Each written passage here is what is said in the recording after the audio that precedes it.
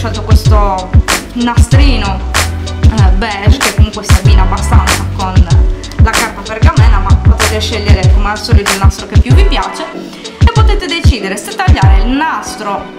prima eh, di andare ad incollare le nostre bandierine oppure se tagliarlo successivamente